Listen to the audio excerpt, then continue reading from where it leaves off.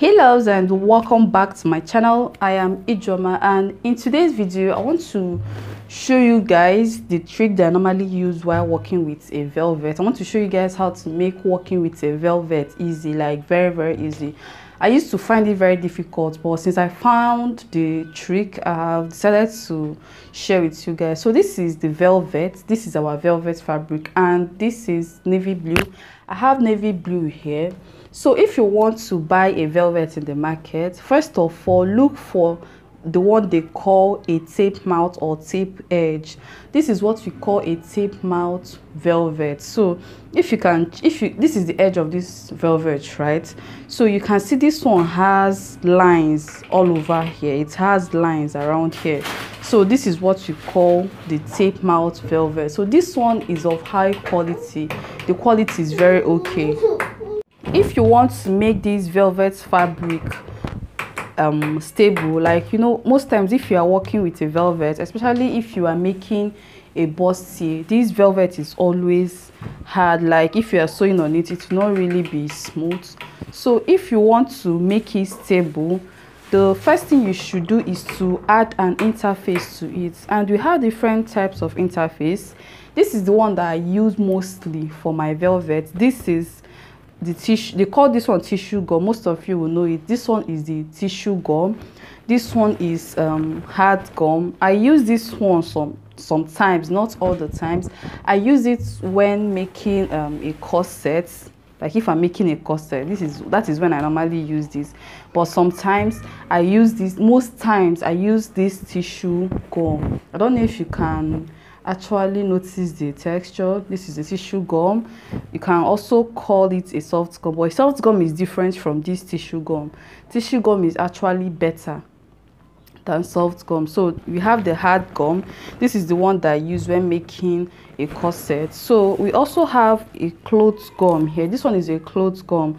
So using a cloth gum is actually a nice idea. You see this one feels like a normal fabric. So a cloth gum will also serve better. So one other trick that i use while making a velvet while using a velvet is okay when i'm making a corset i don't add my bone casing on top of the velvet itself. I will i will illustrate this one. Okay this is my velvet right? Let's assume that i want to use this bias for the bone casing or for the channels of my bones. So let's assume that i have added my soft gum here. So if i should go ahead and place this bone casing on this velvet and sew it not really give me the finishing that i need. You know i'll have to run a double stitch on this bias right?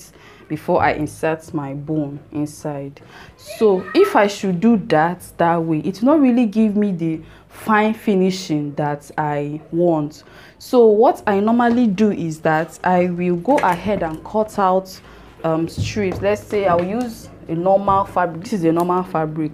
So what i'll do what i do most times is that i'll go ahead and cut out let's say one one inch pieces. There will be one one inch. This just this size now.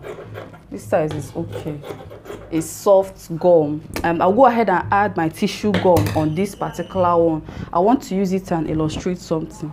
So after adding my tissue gum on this one i will go ahead and run this this um i'll go ahead and stitch down this strip that i have here. I will stitch it down on the wrong side. Then i will turn this i will turn this and then run this one on the upper part. Then i'll come back and show you guys the difference one other thing that i want to show you guys is when you are adding this interface to the velvet do not iron from the right side of the velvet. It doesn't turn out well most times. You know um, velvet can be sticky when ironing it. So if you are ironing this is the wrong side. So iron from the wrong side it is way better. So let me go ahead and iron this down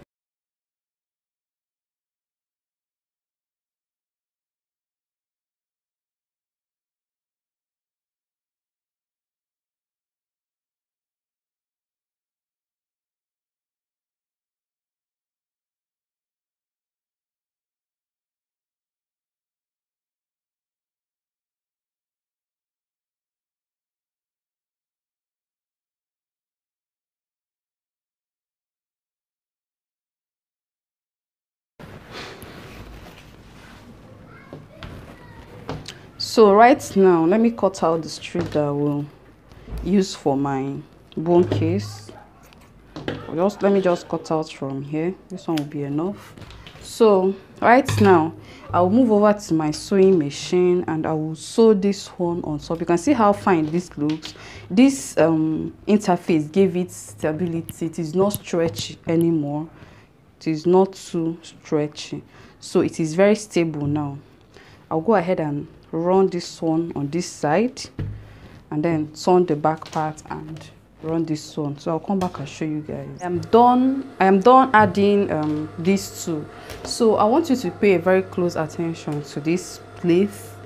It is fine not as if it is too bad. It is okay. But if you can notice i don't know. Okay let me bring the camera closer. So if you can notice this place is a kind of um it is not straight. It is not really really straight. It is fine but it is not straight. So if you want to have a very fine finishing especially when you are making a corset i don't think i will recommend this type of bone case.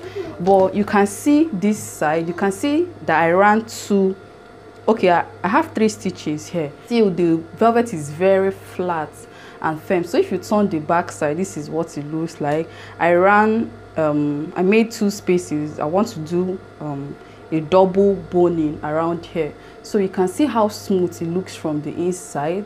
If you want a single bone you just, you just have to run like one one two but i made these three because i want to insert two bones.